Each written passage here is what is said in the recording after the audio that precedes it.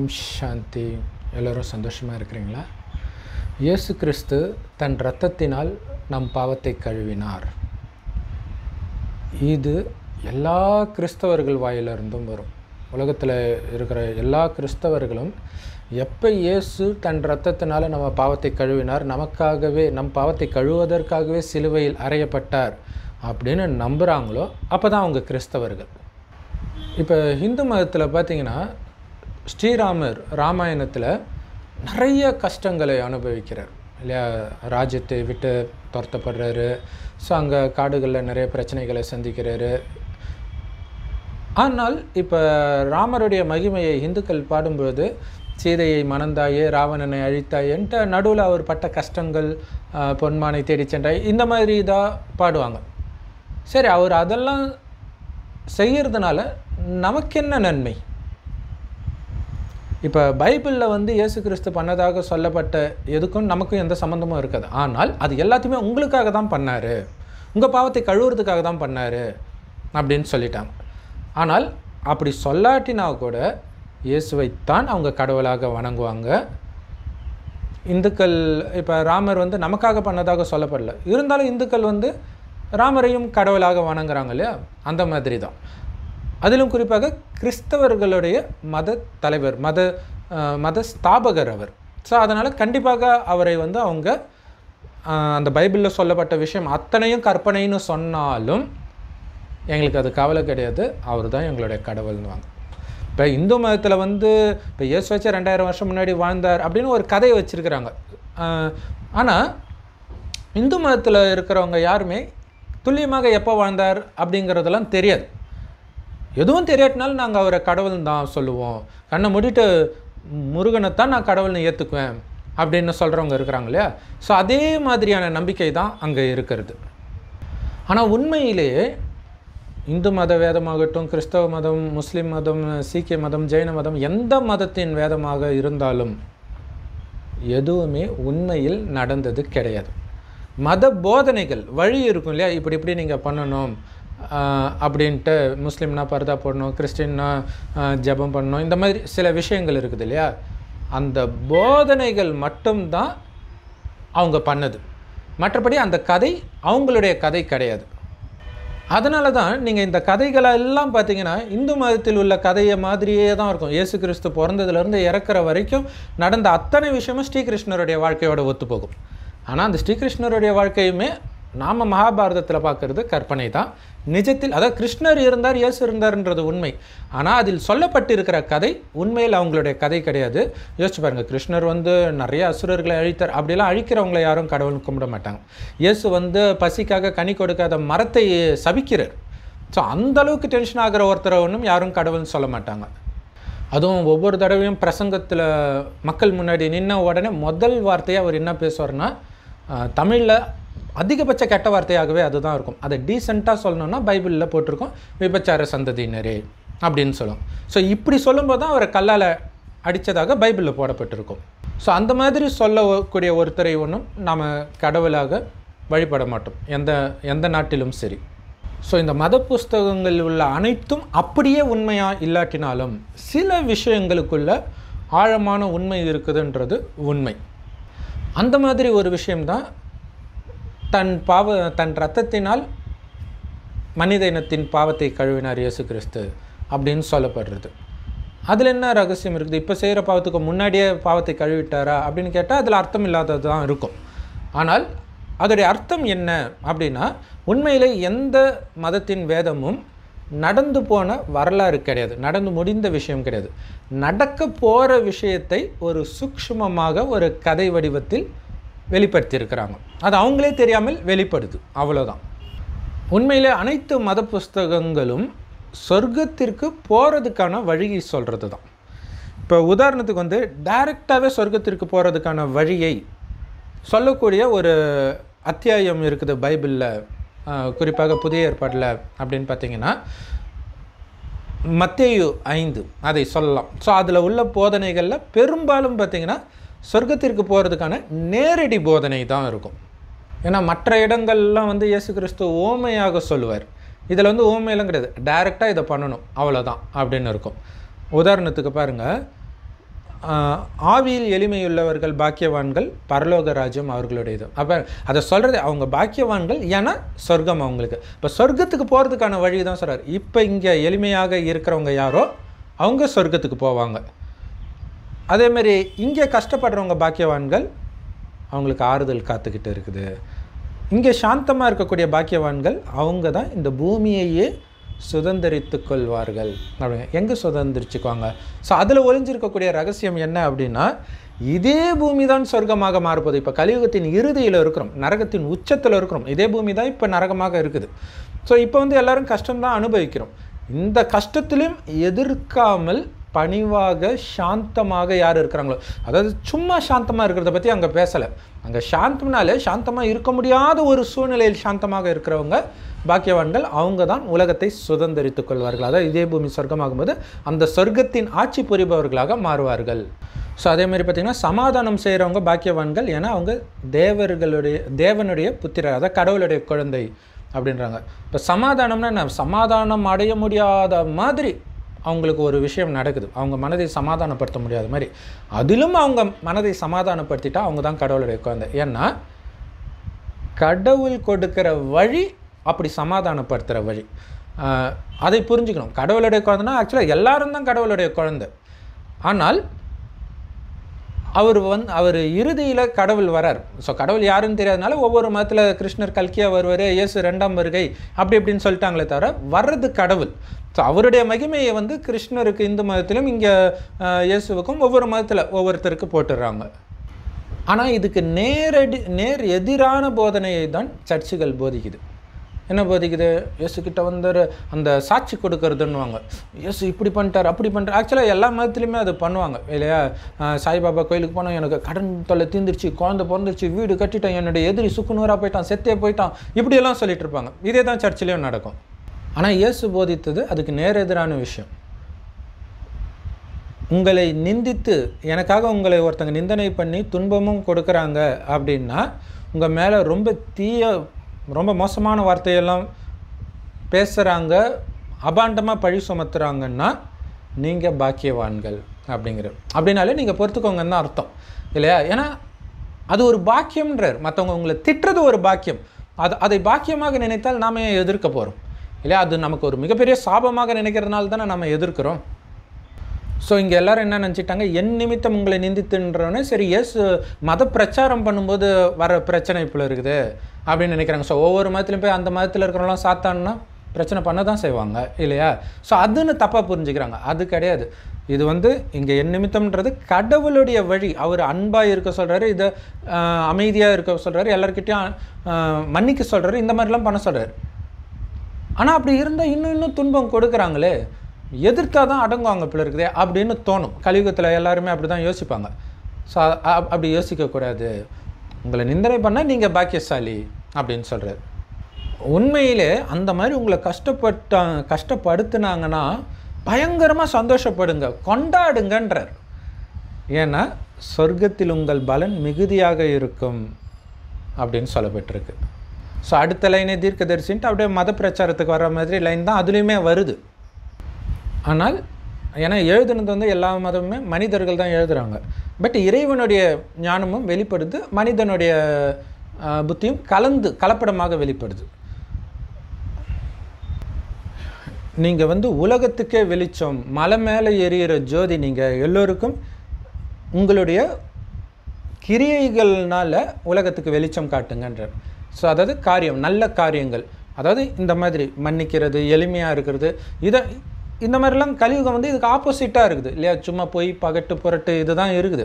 இதில் நீங்கள் அமைதியாக எளிமையாக நேர்மையாக அன்பானவர்களாக மன்னிக்கிறவர்களாக இருக்கும் பொழுது உலகம் உங்களை வித்தியாசமாக பார்க்கும். ஸோ இதன் மூலமாக நீங்கள் கடவுளை வெளிப்படுத்துறீங்க. நாங்கள் கடவுளுடைய குழந்தை அப்படின்னு. ஸோ அடுத்தது முக்கியமான விஷயம் நம்ம எல்லா வீடியோலையும் சொல்லுவோம் இல்லையா? காம மகாசத்ரு காமத்தையே விடணும் ஏன்னா சொர்க்கத்தில் வாழும் தேவதைகளுக்கு காமம்னா என்னன்னே தெரியாது. ஆக்சுவலாக அப்படி நாம தான் இருந்தோம் ஆரம்பத்தில் ஐயாயிரம் வருடத்திற்கு முன்பு.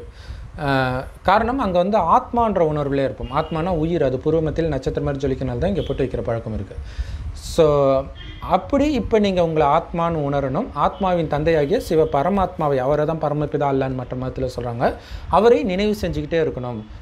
ஆத்மா நான் பூர்வமத்தில் நட்சத்திரம் மாதிரி இருக்கிறேன். ஆனால் ஐந்தாயிரம் வருடம் கழித்து நான் காமம் கோபம் பற்று பேராசை அகங்காரன்ற அழுக்கில் பாவப்பட்டு கிடக்குது. இதுதான் பாவன்றது ஸோ அதை எரிப்பதற்கு சிவத்தந்தையை சதா நினைவு பண்ணிக்கிட்டே இருக்கிறேன்.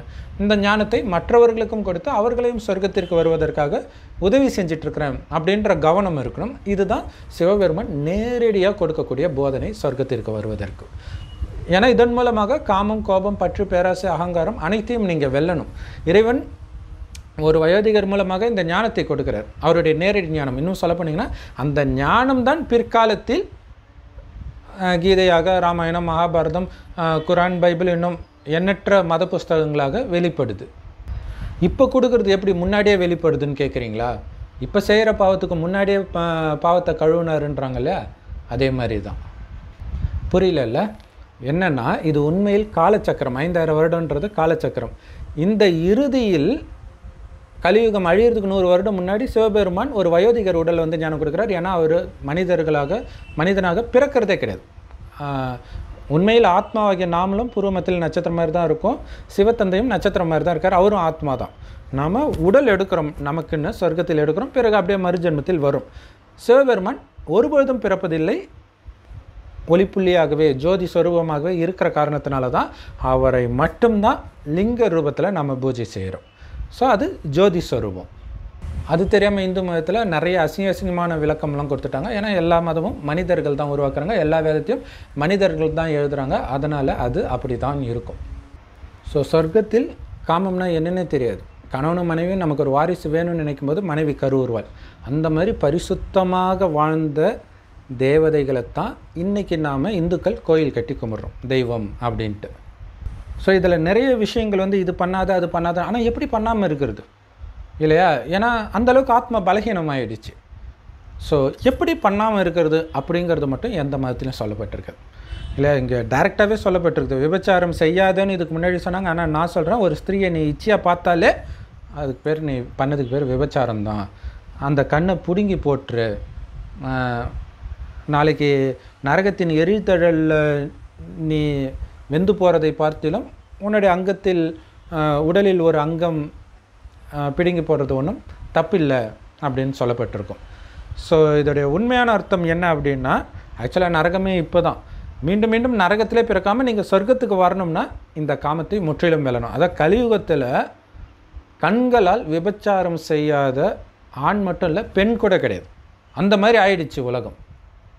ஸோ இந்த நேரத்தில் வந்து நீ கண்ணால் கூட அப்படி பெண்களை தப்பாக பார்க்கக்கூடாது அப்படின்னு சொல்கிறது உண்மையில் சிவபெருமன் கொடுக்குற ஞானம். ஏன்னா அடுத்து வர யுகம் அந்த மாதிரி யுகம்.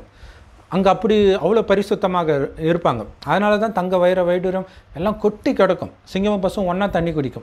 காரணம் என்னென்னா ஆத்மா தூய்மையாக இருக்கும் பொழுது அனைத்து ஜீவராசிகளும் அதே மாதிரியே தூய்மையாக இருக்கும்.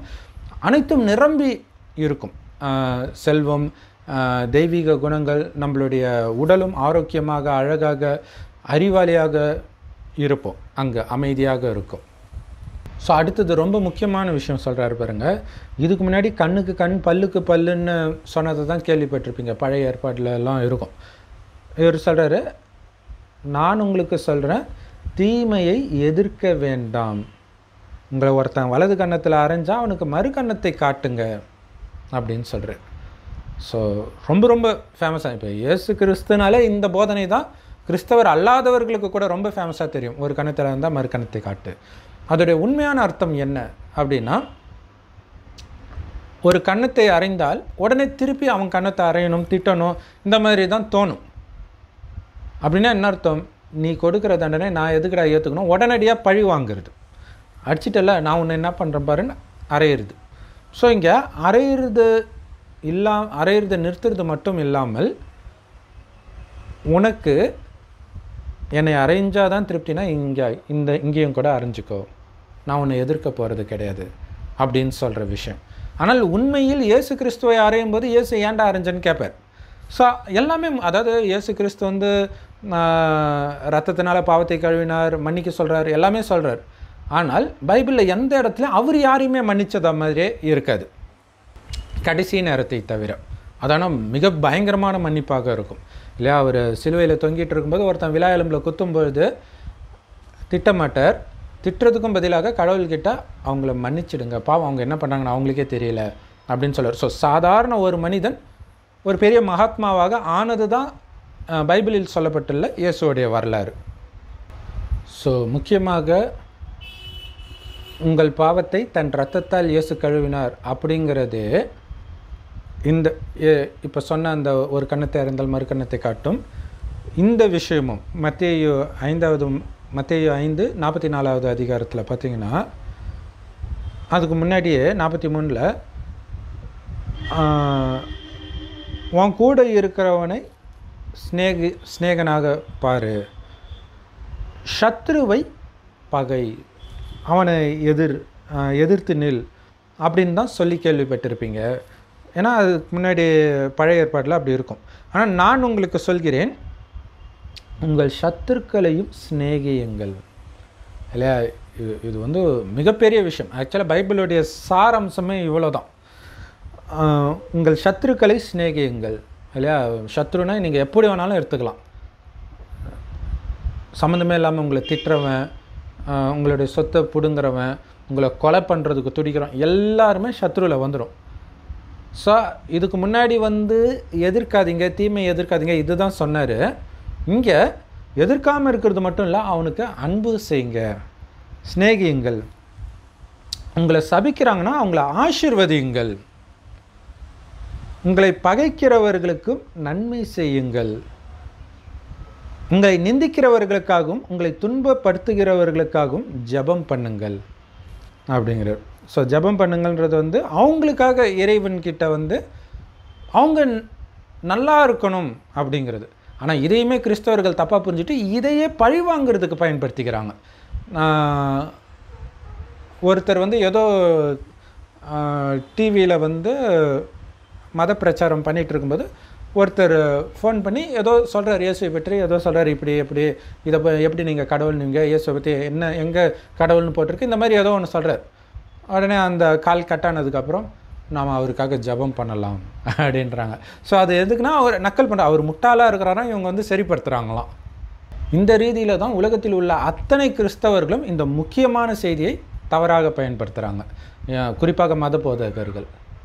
ஒரு பொண்ணு இச்சையாக பார்த்தாலே விபச்சாரம்னு இங்கே இயேசு சொல்கிறார் ஆனால் அமெரிக்காவில் வந்து ஒரு பெந்தகோஸ்து பாதிரியார் அவருடைய ஃபுல் டைம் ஜாபே என்னென்னா கூட்டமாக இருக்கக்கூடிய ஒரு இடத்துக்கு போயிடுவார். போயிட்டு அதிலும் குறிப்பாக இந்த அது அவங்க பேர் என்ன? லெஸ்பியன் ஓரின சேர்க்கையாளர்கள் அடுத்தது அந்த திருநங்கைகள் அந்த மாதிரி இருக்க. அவங்க எல்லாமே ஒரு குறிப்பிட்ட ஏரியாவில் இருப்பாங்க. ஸோ அந்த மாதிரி ஏரியாவுக்கு போய் நல்லா மைக் வச்சுட்டு சொல்லுவார். கடவுள் ஆணையும் பெண்ணையும் ஏன் படைத்தார்? அப்படின்ட்டு பைபிளில் ஒரு சில வசனங்களை சொல்லி பாருங்கள் பெண் வந்து நிலம் ஆண் வந்து விதை. ஸோ விதை போடணும். அது குழந்தை பெற்றுக்கணும். அதுக்காக தான் படித்தார். நீ அதை செஞ்சு அப்படின்ட்டு பயங்கரமாக இரிட்டேட் பண்ணிகிட்டு இருப்பார். அதுவும் நேரடியாக அவங்கள கூப்பிட்டு அவங்க கையில் மைக்க கொடுத்து அவங்கள வந்து ஒரு பயங்கரமாக அசிங்கப்படுத்தி அனுப்புவார்.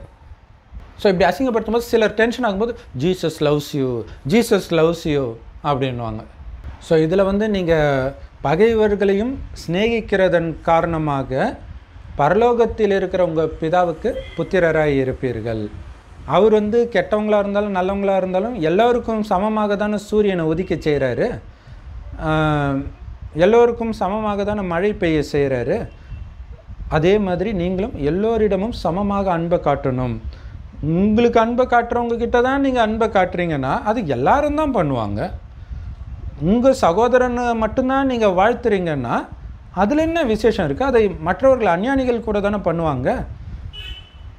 ஸோ கடைசியாக இந்த அதிகாரத்தை முடிக்கும்போது பரலோகத்தில் இருக்கிற உங்கள் பிதா எப்படி சம்பூர்ண குணம் உடையவர்களாக அனைத்து தெய்வீக குணம் நிரம்பியவராக இருக்கிறாரோ அதே மாதிரி நீங்களும் இருக்கணும் அப்படின்னு சொல்லி முடிப்பார். ஸோ உண்மையிலே இது இறைவனுடைய ஞானத்தின் சாரம் தான் ஸோ இறைவனும் அதைத்தான் சொல்லிட்டு இருக்கிறார். ஸோ அது இறைவன் கொடுக்குற ஞானம் வந்து ராஜயோக தியான நிலையத்தில் முற்றிலும் இலவசமாக கிடைக்குது. யூடியூப்லேயும் யூடியூப்ல வெப்சைட்ஸ்லையும் இருக்குது. முரளி அப்படின்னு சொல்லுவோம். டிஸ்கிரிப்ஷனில் கூட அந்த லிங்க் இருக்கும். அதை அவசியம் பாருங்கள் இறைவன் நேரடியாக நம்பிக்கிட்ட இப்போ பேசிகிட்ருக்கிறார் உயிரோட்டமான தேவன் வாங்க இல்லையா? ஸோ இயேசுவோ அல்லது கிருஷ்ணரோ யாரும் இப்போ உயிரோட்டமாக இல்லை. எல்லாம் செத்து போயிட்டோம் அதாவது இருக்கிறாங்க. அடுத்த ஜென்மம் எடுத்து எடுத்து இருக்கிறாங்க. இயேசுவாகவே கிருஷ்ணராகவே இப்போ யாரும் கிடையாது. ஆனால் சிவன் தான் எப்பவுமே சிவனாக தான் இருக்கிறார். ஏன்னா அவர் பிறக்கிறதே கிடையாது. இந்த கடைசி நூறு வருடம் கூட வேற ஒருத்தர் உடலில் வந்து பேசுகிறார் ஸோ பிறக்காத காரணத்தினால் அவருக்கு மரணமும் கிடையாது. அதனால் என்றென்றும் ஜீவித்து இருக்கக்கூடிய தேவன்னா அது தேவாதி தேவ மகாதேவான்னு சொல்லக்கூடிய அந்த ஒரு சிவத்தந்தையை மட்டுமே குறிப்பிடும். அவர் மட்டுமே கடவுள். சரி எஸ் ரத்தத்தினால் நம்ம பாவத்தை கழுவுனார்னு இதில் எங்கே சொல்லப்பட்டிருக்கு? இல்லையா? நேரடியாக சொல்லப்படல. அப்பா அம்மா வந்து ரத்தம் சிந்தி உன்னை வளர்த்தனடா? ரத்தம் சிந்தி உன்னை படிக்க வச்சனடா? அப்படின்வாங்க அப்படின்னு என்ன ரத்தத்தை சிந்தியாக படிக்க வச்சாங்க? அந்த அர்த்தத்தில் கிடையாது. கஷ்டப்பட்டு அப்படிங்கிற அர்த்தத்தில் சொல்கிறாங்க இங்கேயும் அதுதான் அர்த்தம். என்ன அர்த்தம் அப்படின்னா இறைவன் வந்து இறைவனை நினைக்க சொல்கிறார் இறைவன் கொடுக்குற ஞானத்தை கேட்க சொல்கிறார் அதன் மூலமாக நமக்குள்ளே இருக்கக்கூடிய காமம் கோபம் பற்று பேராசை அகங்காரம்ன்ற இந்த ஐந்து விகாரம் நமக்கும் மற்றவர்களுக்கும் துக்கம் கொடுக்குது இல்லையா? இந்த ஐந்து விகாரத்தை முற்றிலும் அழிக்க சொல்கிறார் அழிப்பதற்கான வழி அந்த முரளியை நீங்கள் தினம் தினம் கேட்குறது. சிவபெருமானின் நினைவிலே இருக்கிறது. ரொம்ப முக்கியமானது. நீங்கள் அழியக்கூடிய உடம்பே கிடையாது. இதை இயக்கக்கூடிய ஆத்மா தான் நான் அப்படின்னு உணர்ந்து ஒவ்வொருத்தரையும் ஆத்மாவாக மட்டுமே பார்க்கறது. ஸோ உடலை பார்த்தால் தான் காமம் வரும். காமம் வந்தாலே கோபம் பற்று பேராசை அகங்காரம் பழி வாங்குறது எல்லா பொறாமை எல்லாமே வந்துடும். எல்லா குப்பையும் சேர்ந்துக்கும். இந்த ஐந்து விகாரத்தை தான் சாத்தான் மாயா அப்படிலாம் சொல்கிறது தனியாக ஒருத்தன் கிடையாது. ஸோ அந்த சாத்தானுக்கு அடிமையாக கடைசி ரெண்டாயிரத்து ரெண்டாயிரத்தி ஐநூறு வருடமாக நம்ம மாறி இருக்கிறோம். ஏன்னா இங்கே தான் நம்ம உடல் உணர்வுக்கு வரும். உடல்னு நினைக்கிறோம். சொர்க்கத்தில் இருக்கும்போது உடல் வேற உடலை இயக்கக்கூடிய ஆத்மா தான் நான். பூர்வமத்தில் நட்சத்திரம் மாதிரி ஜொலிக்கிறேன். அதனால தான் இங் இங்கே விபூதி போட்டெல்லாம் வைக்கிற பழக்கம் இருக்கிறது. ஸோ இப்போ ஆத்மான்னு உணர்ந்து பரமாத்மாவை நினைக்கணும். இந்த ஞானத்தை எல்லோருக்கும் தான் கடவுள் கொடுக்கிறார். ஸோ கடவுள் வந்து ஒரு வயோதிகர் உடல் மூலமாக கொடுக்குறார். அந்த வயோதிகருக்கு தான் பிரம்மா அப்படின்னு சொல்கிறோம் ஸோ அந்த பிரம்மாவுடைய நினைவாக தான் கிறிஸ்தவ மதத்தில் ஆதாம் ஆதாம் மூலமாக ஏவாளை படைத்தார் அப்படின்னு சொல்லப்படுது. ஸோ அப்போ ஆதாமை தான் நேரடியாக கடவுள் படைக்கிறார். அதோடைய அர்த்தம் என்னென்னா யார் உடலுக்குள்ளே வந்து நேரடியாக இறைவன் ஞானத்தை கொடுக்கிறாரோ அவர் ஆதாம் ஆகிறார். அதாவது ஆதி மனிதன் அர்த்தம் ஆதாம்னா. ஸோ அது அதை தான் அவரை தான் நம்ம பிரம்மான்றோம். ஸோ பிரம்மா மூலமாக உல உலகம் படைக்கப்படுது பிரம்மா படைக்கலை. பிரம்மா மூலமாக சிவபெருமான் படைக்கிறார். இந்த ஞானத்தை கொடுக்கக்கூடிய உடல் பிரம்மா அவ்வளோதான் அந்த உடலிலிருந்து பேசுறது சிவத்தந்தை. சிவனுக்கு உடல் இல்லாத காரணத்தினால் பிரம்மாவை வாகனமாக எடுக்கிறார். ஸோ அந்த பிரம்மாவை தான் நந்தி வாகனம் அப்படின்னும் சொல்லப்படுது. குறிப்பாக பிரம்மா வாயை பயன்படுத்துவதற்காக தான் பிரம்மா உடலுக்குள்ளேயே வரார். எதுக்கு? சாப்பிட்றதுக்கு இல்லை. ஞானத்தை சொல்வதற்காக. ஸோ அதனால தான் அந்த நந்தி அந்த சிவலிங்கத்தில் மேல் பாதி தான் சிவன். நான் சொன்னேன் இல்லையா? அந்த ஜோதி ரூபமாக இருக்கிறது. கீழ்ப்பாதி பார்த்தீங்கன்னா பிரம்மாவுடைய வாயை குறிக்கிறது.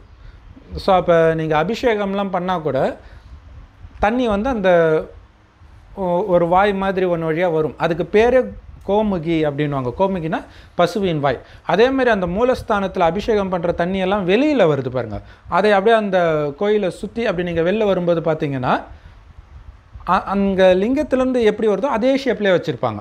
ஸோ அதுவுமே பார்த்தீங்கன்னா கோமுகின்னு தான் சொல்லுவாங்க. அதுக்கு மேலே பார்த்தீங்கன்னா பிரம்மா தான் இருப்பார். ஸோ அந்த பிரம்மாவுடைய வாய் அப்படிங்கிறதுக்காக தான் அது அப்படி சொல்லப்படுது. அதாவது அந்த கோமுகிக்கு மேலே பிரம்மாவை காட்டப்படுது. ஸோ நாம் சிவபெருமானை சதா நினைத்து நான் உடல்ன்றதை முற்றிலும் மறக்கிறீங்க. நான் ஆத்மா ஆத்மா ஆத்மான்னு ஆழமாக பதிய வைக்கிறீங்க. ஸோ ஒவ்வொருத்தரையும் ஆத்மான்னு பார்க்குறீங்க. எல்லா ஆத்மாவும் இப்போ எவ்வளோ மோசமானவங்களாக இருந்தாலும் முதன் முதல்ல இந்த பூமியில் ஜென்மம் எடுக்கும்போது அவங்க சொர்க்கத்தில் எடுத்திருந்தாலும் சரி அல்லது நரகத்தில் தான் முதல் ஜென்மமே எடுத்தாலும் கூட அவங்க தெய்வீக குணம் நிரம்பிய நல்லவர்களாகத்தான் இருப்பாங்க. அதுக்கப்புறம் மறுஜென்மம் எடுக்க எடுக்க தான் கெட்டு போயிடுறாங்க. ஸோ அப்போ அந்த ஆத்மாவுடைய முதல் நிலை அனைத்தும் நிரம்பிய அந்த நிலையை மட்டும்தான் நீங்கள் பார்க்கணுமே தவிர இப்போ இருக்கக்கூடிய குறைகளை பார்க்காதீங்க. ஒருத்தன் தண்ணி அடிச்சுட்டு கெட்ட வார்த்தையெல்லாம் பேசுகிறான்னா அது அவனுடைய உண்மையான குணம் இல்லை. உள்ளே போய் அந்த போதை அவனை மயக்கி அப்படி பேச வைக்குது. ஆனால் போதை தெரிஞ்சோடனே அவன் சுத்தமாக பக்கா ஜென்டில்மேனாக மாறிடுவான். அதே மாதிரி தான் இன்றைக்கி உடல் உணர்வுன்ற போதையில் ஆத்மாக்கள் மயங்கிடுச்சு. சாத்தானின் பிடியில் மயங்கிடுச்சு. ஸோ அது அது அதை தெளித்து இந்த ஞான நீரை தெளித்து சிவபெருமான் எழுப்புறார் ஸோ அந்த ஞான நீர் தான் கங்கை அப்படின்னு சொல்லுவோம். ஸோ சிவலிங்கத்தின் மேலே வந்து தண்ணி சொட்டிக்கிட்டே இருக்கிற மாதிரி வடநாட்டிலலாம் இருக்கும். ஸோ அது பார்த்திங்கன்னா கங்கை தீர்த்தம் அப்படின்னு சொல்லுவாங்க. அதாவது சிவபெருமான் வாயிலிருந்து வரக்கூடிய இந்த ஞானத்தை தான் ஞான கங்கை அப்படின்னு சொல்லப்படுது. ஸோ இந்த ஞானத்தை கேட்டு ஆத்மாவில் உள்ள பாவத்தை எரிக்கிறதோடைய நினைவாக இந்து மதத்தில் என்ன பண்ணிட்டாங்க? கங்கையில் குளிச்சா நம்ம பாவம் போயிடும்னு நினச்சிட்டாங்க. ஸோ அதே தான் கிறிஸ்தவ மதத்தில் ஞான ஸ்நானம் அப்படின்னு வச்சுட்டாங்க. ஞான ஸ்நானம்னுவாங்க ஆனால் தண்ணியில் தான் முக்கியம் எடுப்பாங்க. ஆனால் இந்த இறைவன் கொடுக்குற ஞானத்தில் ஸ்நானம் அதாவது குளிக்கிறது அதன் மூலமாக தான் ஆத்மா அதை கேட்டு கேட்டு கிரகித்து தன்னுடைய குணத்தை மாற்றிக்கிட்டு ஆரம்பத்தில் சொர்க்கத்தில் எவ்வளவு பரிசுத்தமாக இருந்தோமோ அந்த மாதிரி மாறுறது எவ்வளோ பரிசுத்தமாக இருப்போம்னா சொர்க்கத்தில் வந்து அவ்வளோ அழகாக இருப்போம். ஆண்களும் பெண்களும். ஆனால் சின்ன சலனம் கூட வராது. அந்த அளவுக்கு காமத்தை முற்றிலும் வென்றவர்களாக பரிசுத்தமான குழந்தையை விட பரிசுத்தமாக இருப்பாங்க. ஏன்னா இப்போ இருக்கிற குழந்தைகள் கூட பெரியவங்களுக்கு கம்பேர் பண்ணும்போது பரிசுத்தமாக இருந்தாலும் முன் ஜென்மத்து பாவத்தோடு தான் அது வந்து பிறக்குது. ஸோ அதனால தான் இயேசு கிறிஸ்து ஒரு இடத்துல குழந்தைங்க மாதிரி பரிசுத்தமாக இல்லாதவங்க சொர்க்கத்தில் வர முடியாது அப்படின்னு சொல்லியிருப்பார். இப்போ இறைவன் இந்த ஞானத்தை கொடுக்கிறார். சிவபெருமான் வந்திருக்கிறார். எத்தனை பேர் நம்புவாங்க? கிறிஸ்தவர்கள் முஸ்லீம்ங்க விடுங்க. இந்துக்களே எத்தனை பேர் நம்புகிறாங்க இல்லையா? கிடையாது. அவங்க பாட்டுக்கு சிவன் கோயிலில் போய் ஓம் நம சிவ ஓம் நம சிவ சொல்லுவாங்களே தவிர சிவபெருமானே வந்துட்டார் இந்த ஞானத்தை எடுங்கன்னா எடுக்க மாட்டாங்க ஸோ அப்போ மற்ற மதத்தினரும் கேட்கவே தேவையில்லை. அதுக்காக மற்ற மதத்தினர் ஞானத்தை எடுக்க மாட்டாங்கன்னு கிடையாது. பெரும்பாலும் எடுக்க மாட்டாங்க. ஒரு சிலர் எடுப்பாங்க. எல்லா மதத்திலிருந்தும். அந்த ஒரு சிலர் யார் அப்படின்னா சொர்க்கத்தில் ஏற்கனவே தேவதையாக இருந்து மறுஜன்மம் எடுத்து எடுத்து எடுத்து எடுத்து அப்படியே பலவே பல்வேறு காரணங்கள்னால வெவ்வேறு நாட்டில் வெவ்வேறு மதத்தில் போய் பிறந்தவர்கள். அவங்களுக்கு இந்த ஞானம் கிடைச்ச உடனே நெருப்பை பார்த்த விட்டில் பூச்சி ஓடி வந்து பலியாகிற மாதிரி ஓடி வந்து பலியாவாங்க. ஏன்னா இது மட்டும்தான் அவங்களுக்கு திருப்தியை கொடுக்கும். மற்றபடி அவங்க எந்த மதத்தில் இருக்கிறாங்களோ அதில் ஏதோ ஒரு குறை இருக்குது அப்படிங்கிற விஷயம் அவங்களுக்கு தெரிஞ்சுக்கிட்டே இருக்கும். ஸோ அப்போ அவங்க வெளியில் தேட ஆரம்பிப்பாங்க. தேட ஆரம்பித்தோன்னே இதுதான் கரெக்ட் அப்படின்னு புரிச்சுக்குவாங்க ஸோ அதனால் இவ்வளோ நேரம் இந்த வீடியோவை நீங்கள் பார்த்தீங்கன்னா அமைதியாக பார்த்தீங்க பார்த்தாலும் சரி அப்படியே டென்ஷனில் பார்த்தாலும் சரி கண்டிப்பாக நீங்கள் தேவதை ஆத்மா தான். இல்லாட்டினா இவ்வளோ நேரம் பார்க்கக்கூடிய பொறுமை இருக்காது. ஸோ பல ஜென்மமாக வேற ஒரு மதத்தில் இருந்த காரணத்தினால உங்களுக்கு வந்து டக்குன்னு ஏற்றுக்க முடியாது.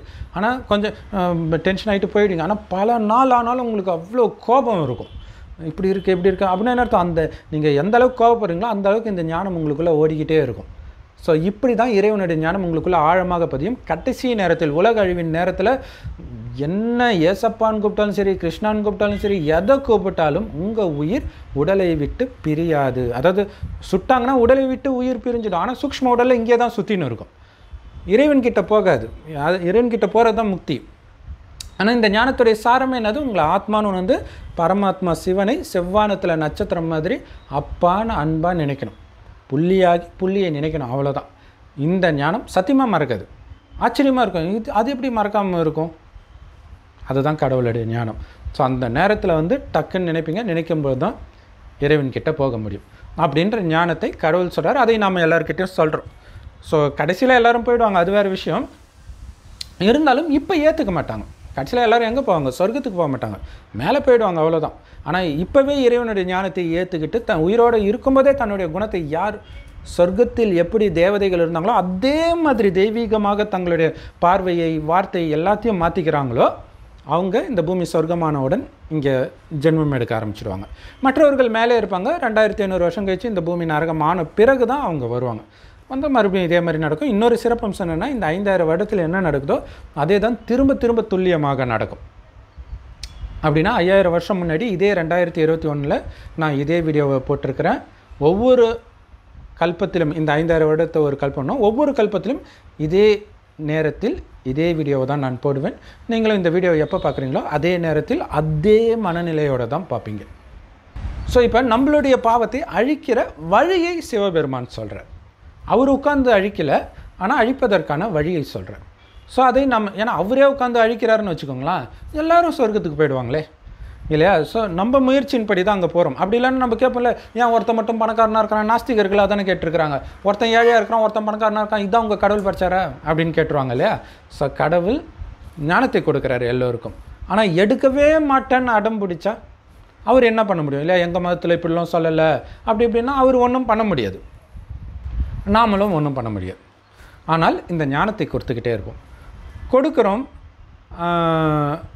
ஏற்றுக்கிறவங்க அவங்க முயற்சி பண்ணி சொர்க்கத்தில் எந்த அளவுக்கு முயற்சி பண்ணுறாங்களோ அந்த அளவுக்கு உயர்ந்த பதவி அடைவாங்க. ஏன்னா அங்கே ராஜா ராணி ஆட்சி நடக்கும். அதில் முதல் ராஜா தான் ஸ்ரீ நாராயணன். அவர் கடவுள் கிடையாது. கடவுளின் வழியை எடுத்து சிவபெருமானுக்கு சமமாக தன்னை தூய்மையாக்கி கொண்டவர். சமமாக ஆனாரே தவிர அதுக்காக கடவுளாகவே ஆகிட முடியாது. அதுவும் அந்த ஒரு பிறவி தான். அதுக்கடுத்தது கொஞ்சம் கொஞ்சமாக அவருடைய சக்தி குறையும். எப்போவுமே சக்தி குறையாமல் எப்போவுமே பரிசுத்தமாக இருப்பவர் ஒரு சிவத்தந்தையை தவிர யாருமே கிடையாது. இதைத்தான் பைபிளில் இயேசு கிறிஸ்து சொல்லு. இயேசு கிறிஸ்து ஒருத்தர் பரிசுத்த போதகரேன்னு பரலோகத்தில் இருக்கும் பரமபிதாவை தவிர எவனும் பரிசுத்தமானவன் கிடையாது. எப்படா நீ என்ன பரிசுத்தமானவன் சொல்லுவ? அப்படின்னு அவரே கேட்டிருப்பார். ஸோ இதை கிறிஸ்தவர்கள்ட்ட சொன்னால் அவர் தான்ப்பா இவர் அப்படின்றவாங்க. ஆனால் உண்மையில் பிதா சிவபெருமான் அவர் எல்லோருக்கும் தந்தை. கிறிஸ்தவர்களுக்கு மட்டும் இல்லை ஸோ கிறிஸ்தவர்களுக்கு மட்டும் தந்தை ஒருத்தர் இருக்கிறார். அவர் தான் கிறிஸ்து அது கூட இயேசு கிடையாது. இயேசு உடலில் ஒரு ஆத்மா அவங்க பரிசுத்தாவின்றாங்க இல்லையா அது மேலேருந்து ஸ்ட்ரைட்டாக இயேசு உடலில் வரும். அதாவது நரக நரகமான பிறகு தான் மதங்கள் வருது இயேசுவும் பிறகுறாரு ஸோ அவர் உடலில் முப்பது வயது போல் ஒரு ஆத்மா மேலேருந்து டைரெக்டாக வருது. ஆக்சுவலாக அவர் மட்டும் இல்லை எல்லா மதமும் அப்படி தான் ஸ்தாபனை செய்யப்படும். ஏன்? சொர்க்கத்தின் தேவதை அந்த மதத்தின் பேர் வந்து ஆதிசநாதன தேவி தேவதா தர்மம். அதுதான் பிற்காலத்தில் நரகத்தில் வரும்போது ஹிந்துன்னு சொல்லிக்கிறாங்க. காமத்தில் விழுந்த பிறகும் தேவதைன்னு சொல்ல கூச்சப்பட்டுக்கிட்டு அப்போ இந் இந்தியாவுடைய பேர் ஹிந்துஸ்தான்றதுனால இந்துஸ்தானில் வசிப்பவர்கள்னு அர்த்தம். அது மதத்தின் பெயர் கிடையாது. ஆதிசநாதன தேவி தேவதா தர்மம் தான் உண்மையில் தர்மத்துடைய பெயர். ஸோ அந்த தர்மத்தையே மேலேருந்து சிவபெருமான் வந்து தான் ஸ்தாபனை பண்ணுறார் ஒருத்தர் உடல் மூலமாக சொல்லி. ஸோ அதே மாதிரி தான் ஒவ்வொரு மதமும் இயேசு உடம்புல இப்போ கிறிஸ்து வராரு நபி உடம்புல ஜிப்ரேல்னு ஒரு ஆத்மா வருது. ஸோ இப்படி மேலேருந்து வந்து தான் பண்ணுது. இப்போ உண்மையில் கிறிஸ்தவர்களின் தந்தை இயேசு கிடையாது. இயேசு உடலில் வந்த கிறிஸ்து ஏன்னா இந்த ஞானத்தை சொன்னது இந்த ஞானத்துக்கு சொந்தக்காரர் கிறிஸ்து. ஆனால் மகிமை இயேசுக்கு தான் பாடுறாங்க. உண்மையில் இயேசு கிறிஸ்தவர்களுக்கு அப்பா கிடையாது. கிறிஸ் அதாவது அவர் ஆண் உடலில் கொண்டவர்னால அப்பான்னு சொல்லிடுறாங்க. ஆனால் உண்மையில் கிறிஸ்தவர்களின் தாய் ஏன்னா கிறிஸ்தவர்களின் தந்தையாகிய கிறிஸ்துவுக்கு உடல் கொடுத்தார். இயேசு உடல் மூலமாக பேசிய ஞானத்தின் மூலமாக தான் கிறிஸ்தவர்கள் அந்த ஞானத்தை பிடித்தவர்கள் கிறிஸ்தவர்கள்னு சொல்கிறாங்க இல்லையா? ஸோ அதனால் இயேசு உண்மையில் தாய் தான். புனித மேரின்றாங்க இல்லையா? அது இயேசுவை பெத்த அம்மாவை குறிக்கிற விஷயம் கிடையாது. இயேசுவை குறிக்கிற விஷயம். யோசிச்சு பாருங்க. ஆண் துணை இல்லாமல் குழந்தை பெத்தெடுத்ததுனால மேரிக்கு மகிமை. ஆக்சுவலாக இயேசுவே ஒரு ஆண் தான். அவர் காமத்தின் மூலமாக ஒன்றும் கிறிஸ்துவை வர வைக்கல இல்லையா டைரெக்டாக அவர் வர வைக்கவே இல்லை. அது தானாக நடக்குது. நாடகத்தின்படி அது நடக்குது. ஸோ அந்த ஆத்மா வந்தது காரணத்தினால இவர் கிறிஸ்தவர்களுக்கும் தாயாகிறாரு அந்த கிறிஸ்துவுக்குமே தாயாகிறார். ஸோ அதே மாதிரி தான் பிரம்மாவுமே கூட. சிவபெருமான் அவர் உடலில் வர காரணத்தினால பிரம்மாவை தான் அம்மன் சொல்கிறோம் இல்லையா? ஆக்சுவலாக அது இன்னும் ஆழமாக போனால் நம்ம எல்லோருமே சிவனுடைய மனைவின்னு வரும். பட் மெயினாக வந்து அது பிரம்மாவை குறிக்கும். ஸோ இந்த ஞானத்தை ஏற்றுக்கிறவங்க மட்டும் கடவுளுக்கு குழந்தை இல்லை எல்லாருமே கடவுளுக்கு குழந்தை தான் கடவுளுக்கு குழந்தைன்னா நமக்கு சகோதரர்கள். எல்லோரும் எல்லா மதத்தினரும் கடவுளே இல்லைன்னு சொல்கிறவங்க கூட. இப்போ கடவுள் எப்படி எல்லார் மீதும் கருணை வைக்கிறாரோ அதே கருணை பார்வை தான் நாமளும் எல்லார் மீதும் வைக்கிறோம். இந்த ஞானத்தை ஏற்றுக்கிட்டாலும் சரி ஏற்றுக்காட்டினாலும் சரி. ஏற்றுக்கிறவங்க அது அவங்களுடைய அதிர்ஷ்டம் ஏற்றுக்கிட்டு முயற்சி செஞ்சு சொர்க்கத்துக்கு வந்துடுறாங்க. ஏற்றுக்காதவங்களுக்கும் எப்படியாவது சொர்க்கத்துக்கு வர வைக்கிறதுக்கு நாம் முயற்சி பண்ணுவோம். எப்படி பண்ணுவோம்னா ஒன்று ஞானத்தை கொடுப்போம். ஸோ இந்த ஞானம் முதல்ல நிறைய பேருக்கு புரியவே செய்யாது. ஆனால் ரொம்ப ஈஸியான ஞானம் ஆனால் புரியாது. அதுக்கு காரணம் என்னென்னா அவங்களுடைய பாவச்சுமை. இல்லையா? காமம் கோபம் பற்று பேராசை அகங்காரம் எந்த அளவுக்கு ஆழமாக ஆத்மாவில் பதிவாயிருக்கோ அந்த அளவுக்கு இந்த ஞானம் உள்ளே போகாது. அப்போ அந்த பாவத்தை எரிக்கிறதுக்கான வழியை நாம் சொல்கிறோம் ஸோ அது அது மெயின் வந்து இறைவனை நினைக்கிறது. பேசுகிறது பேசுறது கடவுள்னே ஏற்றுக்காதவங்க இறைவனை எப்படி நினைப்பாங்க? ஸோ அப்போ நாம் நம்மளுடைய குணத்தை மாற்றுறோம் பாருங்கள் இப்போ நம்ம வீட்டிலே எல்லோரும் ஏற்றுக்க மாட்டாங்க. கணவன் ஏற்றுக்காமல் இருக்கலாம் மனைவி ஏற்றுக்காமல் இருக்கலாம் குழந்தை ஏற்றுக்காமல் அப்பா அம்மா ஏற்றுக்காமல் இருக்கலாம் சொந்தக்காரங்க ஏற்றுக்காமல் இருக்கலாம். அப்போ உங்களுடைய குணம் மாறுது பாருங்கள் எப்படி காமம் இல்லாமல் கலியுகத்தில் ஒருத்தரால் இருக்க முடியுது? ஏன்னா இது நடிக்கிற விஷயம் பேசுகிற விஷயம் கிடையாது. அவங்களுக்கு தெரியும்ல உங்கள் கூடவே இருக்கிறவங்களுக்கு தெரியும். நீங்கள் ஊரில் இருக்கிற யாரை வேணாலும் ஏமாற்றலாம் உங்கள் கணவனை அல்லது உங்கள் மனைவியை கூட பிறந்தவங்கள பெஸ்ட் ஃப்ரெண்ட்ஸ் இவங்களெல்லாம் ஏமாற்ற முடியாது இல்லையா? ஸோ அந்த பார்வை அந்த பரிசுத்த தன்மை. ஸோ அதை பார்த்து அவங்களுக்கே ஆச்சரியம் வந்து அவங்களுக்கு கொஞ்சம் கொஞ்சமாக இது கண்டிப்பாக கடவுளுடைய ஞானமாக தான் இருக்கும் அப்படின்னு உங் உங்கள் தொடர்பில் எந்த அளவுக்கு வராங்களோ அந்த அளவுக்கு அவங்களுக்கு கொஞ்சம் கொஞ்சமாக அவங்க புத்தி க்ளீன் ஆக ஆரம்பிக்கும். அதுக்கு ரெண்டு காரணம். ஒன்று உங்களுடைய குணம் மாறினது. இன்னொன்று சிவபெருமானின் நினைவிலே இருக்கிறது அந்த பரிசுத்தமான அதிர்வலைகளை உங்களை சுற்றி பறவை செஞ்சுக்கிட்டே இருக்கும். ஸோ அப்போ உங்கள் தொடர்பில் வர ஆத்மாவும் கொஞ்சம் கொஞ்சமாக அந்த ஆத்மா எந்த முயற்சியும் பண்ணாமலே கொஞ்சம் கொஞ்சமாக அந்த அதோடைய பாவம் எரிய ஆரம்பிக்கும். ஸோ அந்த பாவம் எரிஞ்சிட்டாலே புத்தி கரெக்டாக யோசிக்க ஆரம்பிச்சிடும். இதுதான் உண்மைன்னு புரிஞ்சுக்கும். ஸோ கடைசி நேரத்தில் உலக அழிவில் சிக்கும்போது இப்போ பார்க்கணும் இல்லையா சுனாமி அது இதுன்னு எப்படி சிக்கிறாங்க? அந்த நேரத்தில் நீங்கள் வந்து அது உங்கள் அப்பா அம்மாவாக இருக்கலாம் உங்கள் ஜென்ம விரோதியாக இருக்கலாம் யாராக வேணாலும் இருக்கலாம். ஐயோ என்னோட அப்பா அம்மான்ற அந்த பதற்றமும் இருக்காது. என்னோட ஜி- விரோதி அவன் அவனுக்கு வேணும். கட கர்த்தர் அவரை தண்டித்தார். அப்படிலாம் எண்ணம்லாம் வராது. கருணை மட்டும்தான் இருக்கும். ஒரு சகோதர ஆத்மா கஷ்டப்படுது. உடல் ரீதியாக கிடையாது. ஆத்மா கஷ்டப்படுது. ஸோ அந்த ஆத்மாவுக்கு உண்மையான விடுதலை இந்த நரகத்திலேருந்து போகணும். இல்லையா? ஸோ அப்போ அந்த ஆத்மா தூய்மையாகணும். முக்தி அடைந்து இறைவன் கிட்ட போகணும். ஏன்னா க- நரகம் அழிய போகுது. அழிந்தால் தான் இந்த பூமி சொர்க்கமாக மாறும். ஸோ அந்த ஒரு எண்ணம் மட்டும் நீங்கள் வைக்க வைக்க அந்த ஆத்மா ஏற்கனவே துடிக்குது இல்லையா? அந்த நேரம் நீங்கள் தூய்மையை கொடுக்குறது அதுக்கு டக்குன்னு ஒரு அமைதியை கொடுக்கும். ஸோ அந்த நேரம் ஆத்மா கொஞ்சோண்டு அந்த புத்தியின் பூட்டு திறந்து அந்த ஃபஸ்ட்டு ஃபஸ்ட்டு அந்த ஞானத்தை யார் மூலமாவது கேட்டிருக்கோம் இல்லையா? உங்கள் மூலமாக தான் கேட்டிருக்கணும்னு அவசியம் இல்லை. யார் மூலமாக வேணாலும் கேட்டிருக்கலாம். ஸோ அப்போ அந்த ஞானம் டக்குன்னு ஞாபகம் வரும். ஞாபகம் வந்து இறைவனை நட்சத்திரம் மாதிரி நினைக்கும். டக்குன்னு உயிர் பிரிஞ்சு போயிடும். ஆனால் இங்கே தூய்மை ஆகிறதுக்கான முயற்சி பண்ணாத காரணத்தினால மேலே போயிடும். அவ்வளோதான் சொர்க்கத்துக்கு வராது. ஏன்னா அதோடைய குணம் வந்து நரகத்துக்கு வர அளவுக்கு தான் இருக்குது.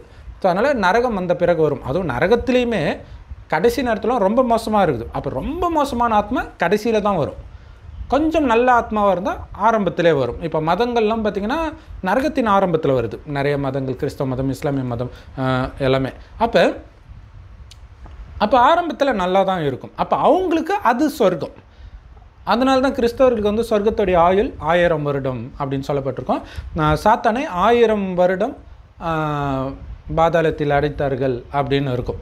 ஸோ அதோடைய அர்த்தம் என்னென்னா அவங்களுடைய ஆயுளே மொத்தம் ரெண்டாயிரம் வருடம் தான் சராசரியாக. துல்லியமாக கிடையாது. அப்போ இந்த ரெண்டாயிரம் வருடத்தில் முதல் பாதி அவங்களுக்கு சொர்க்கம் மாதிரி இருக்கும். சொர்க்கம்னா அங்கே காமம்லாம் இருக்கும். பட் அவங்களுக்கு அது சொர்க்கம் அதாவது துக்கம் இல்லாமல் இருப்பாங்க. அடுத்த ரெண்டாயிரத்தி வருஷம் அவங்களுக்கும் நரகமாக ஆகும். ஸோ இப்போ சொர்க்கத்தில் வாழற நமக்கு தேவதைகளுக்கு ஒரிஜினல் சொர்க்கம் ரெண்டாயிரத்தி ஐநூறு வருஷம். அடுத்தது இங்கேயுமே ஆயிரத்தி இரநூத்தி ஐம்பது வருடம் அதாவது நரகத்திலே பாதி அதுவுமே நல்லா தான் இருக்கும். ஆனால் சொர்க்கத்தோடு கம்பேர் பண்ணும்போது அது சொர்க்கம் கிடையாது பட் நல்லா இருக்கும் துக்கம் இருக்காது. அப்போ இந்த ஐயாயிரம் வருடத்தில் வெறும் ஆயிரத்தி இரநூத்தி ஐம்பது வருடம் தான் துக்கத்தை அனுபவிப்போம். அதிலும் அதிகபட்ச துக்கம் பார்த்திங்கன்னா கடைசி ஓரிரு பிறவிகள் மட்டுமே. அப்போ யோசிச்சு பாருங்கள் எவ்வளோ பெரிய லாபம் இறைவனுடைய ஞானத்தை எடுப்பதனால. ஸோ இப்போ இந்த ஞானத்தை வந்து என்னது? காமத்தை விடுறதா? கருமீனை விடுறதா? பூண்டு வெங்காயத்தை விடுறதா? அப்படி பல காரணங்கள் சொல்லி நம்மளை திட்டுவாங்க எல்லாம் பண்ணுவாங்க. ஆனால் அங்கே இயேசு கிறிஸ்து சொன்ன மாதிரி உங்களை திட்டினா நீங்கள் பாக்கியசாலிகள்னு நினச்சிக்கோங்க. ஏன் பாக்கியசாலினா திட்டுறதுனால கிடையாது. அந்த திட்டுறதை ஏற்றுக்கக்கூடிய சக்தி வந்துடுச்சு பாருங்க. ஸோ அப்போ சொர்க்கத்தில் உங்களுக்கு பதவி ஏறிக்கிட்டே இருக்குது. ஸோ அதனால தான் அதை கொண்டாடுங்க. மகிழ்ச்சியோடு இருங்க. உங்களை மற்றவங்க திட்டனா அப்படின்னு சொல்லப்படுது. ஸோ அப்படி உலகத்தில் உள்ள அத்தனை பேருக்கும் நாம் வாய்மொழி மூலமாகவும் ஞானத்தை சொல்கிறோம் நம்மளுடைய குணத்தை மாற்றி கடவுளுடைய குழந்தை எப்படி இருப்பார் அப்படின்னு வாழ்ந்து காட்டுறோம். இயேசு கிறிஸ்து சொல்கிறல என்னை கண்ணவன் பிதாவை கண்ணன்னு ஸோ அந்த மாதிரி வாழ்ந்து காட்டுறோம். அடுத்தது சக்தியின் மூலமாக கொஞ்சம் கூட சுயநலம் இல்லாமல் பிடிச்சவங்க பிடிக்காதவங்க எந்த உணர்வும் இல்லாமல் முழு ஆத்ம உணர்வு கண்ணுக்கு ஆத்மா மட்டுமே தெரியுது. அந்த ஆத்மா கடவுள்கிட்ட போகணும். அந்த ஒரு நல்ல எண்ணம் மட்டும் வச்சு அவங்கள இந்த நரகத்திலிருந்து என்றென்றைக்கும் காப்பாத்துறீங்க. ஸோ இவ்வளவு நீங்கள் செய்கிறீங்க இது வந்து நமக்கு ஆனந்தமாக தான் இருக்கும் இறைவனுடைய வழி. ஆனால் வெளியிலேருந்து பார்க்குறதுக்கு ஏதோ கஷ்டப்படுற மாதிரி தெரியும். ஸோ அதுதான் என் ரத்தத்தை சிந்தி உங்கள் பாவத்தை கழுவினேன் அப்படின்னு சொன்னது உண்மையில் கிறிஸ்துவோடைய மகிமை கிடையாது. ஏன்னா கிறிஸ்து வர்றதே நரகத்தில் தான். ஆனால் அது இயேசுவுக்கு பொருந்தும். ஏன்னா இயேசுவே சொர்க்கத்தில் வந்த ஆத்மா தான். ஸோ சொர்க்கத்தில் வந்த ஆத்மாக்களுக்குத்தான் மகிமை எந்த மதத்தை சார்ந்தவராக இருந்தாலும் சரி. பாருங்கள் நபிக்கு மகிமை ஜிப்ரேலுக்கு கிடையாது. இயேசுவுக்கு மகிமை கிறிஸ்துவுக்கு கிடையாது. துல்லியமாக சொல்லணும்னா எந்த இந்து தெய்வங்களை சாத்தான் விக்கிரகம் அப்படின்னு ரொம்ப மோசமாக கிறிஸ்தவர்கள் பேசுகிறாங்களோ அவங்களுடைய மகிமை தான் அங்கே இயேசுடைய மகிமையாக கிறிஸ்துவோடைய மகிமையாக போடப்பட்டிருக்கு. உண்மையில் அவங்களுடைய பாவத்தை கழுவிய அதாவது எல்லா மதத்தினருடைய பாவத்தையும் அவங்க முயற்சி இல்லாமல் இன்னொருத்தர் கழுவுறாங்க அப்படின்னா அது தேவதைகள் பண்ணுற வேலை தான் ஸோ அந்த தேவதைகளை தான் இந்துக்கள் கோயில் கட்டி கும்பிட்றோம். அவங்கள தான் ஒரு பக்கம் சாத்தான்னு சொல்லிட்டு ஒரு பக்கம் மகிமையும் பாடிட்டு இருக்கிறாங்க. அவங்களுக்கே தெரியல பாவம். ஸோ இப்படி நாம் வந்து மற்றவர்கள் முக்தி அடைகிறதுக்கு உதவி செய்தாலும் எல்லாத்தையும் பண்ணுறது உண்மையில் சிவத்தந்து இல்லை அவருடைய கட்டளை தான் இங்கே எல்லாமே பண்ணிட்டு இருக்குது. ஸோ அவருடைய வழிப்படி நடக்கிறதுனால நம்ம குணம் மாறுது. குணம் மாறுறதுனால நம்ம அப்படி நடந்துக்கிறோம்.